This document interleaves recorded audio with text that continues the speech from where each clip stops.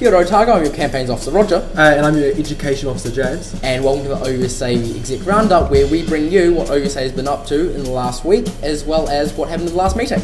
Yep, so we're still finding our feet with this, uh, so we're probably going to make a few mistakes, and we're probably going to start reading from the agenda uh, to our left. But um, give us some feedback, tell us what we're doing right, tell us what we're doing wrong, and everything in between. Hopefully, we can get this done in three minutes or less, starting now. Um, so you might have realised that we had a little thing called O Week last week. Uh, thank you very much to the amazing events team who put it all together, and to all the students who came along and made it a fantastic week. The Radio 1 app is live, so that means you don't have to bring your card in to, anymore. Just go into the shop and show them the app discount. So you can download that on either the Apple App Store or the Google Play Store. So all you have to do is look up Radio Rad 1 app. Yep, uh, so on the 3rd of March, uh, there is a concert for the Tongan Cyclone Relief Fund. It's from 7.30 till 9 in the Union Hall, and it's a gold coin entry. Young Thug unfortunately won't be going to Outer City Limits this weekend. Instead, Alison Wonderland will be taking his place. Uh, and to all the budding photographers out there, the uh, OUSA infamous photography competition is starting right now. Uh, entries close on the 31st of March, and you can win up to $100. Check out more details on our website.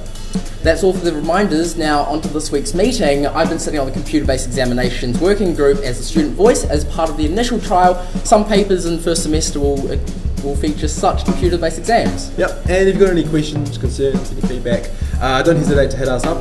Education at ousa.org.nz is my email. Or campaigns at ousa.org.nz is my email.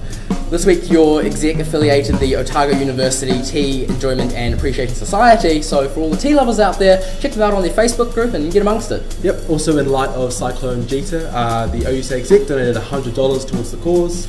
If you'd like to personally contribute, there will be a UNICEF donation link in the description. uh, of this video. Um, so your executive quarterly reporting dates have been set. These are pretty much the time in which um, our quarterly reports are due. These are reports that we do four times a year, quarterly, and it sums up everything we've been doing for OUSA for students. These dates are March the 22nd, June the 21st, September the 20th, and November the 22nd. Your exec received the January student job search statistics. And we also received the minutes of the OUSA Finance and Expenditure Committee. Your exec accepted my committee reports for the Give Nothing to Racism Committee, the Computer Based Examinations Working Group, and the Chaplaincy Board. And we also accepted the Welfare Officer Abigail's reports from the Healthy University Advisory Group Welfare Committee and the Division of Science Academic Board. Finally, your exec received the OUSA CEO Debbie Downs' January report. Brilliant. Uh, so if you've got any questions about anything we've briefly talked about, don't forget to hit us up. Um, if you've got any feedback or concerns about this video, we're saying we're still finding our feet, so we appreciate anything you guys want to tell us about it. Yeah, so stop us on the streets or Yep.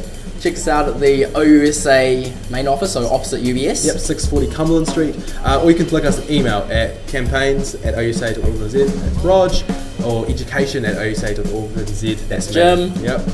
Or you can email our president directly at president at ousa.org.nz. So, Well, thank you very much for watching. I uh, hope it wasn't too bad. fingers crossed. Yeah. And until next time, see, See you later. All right.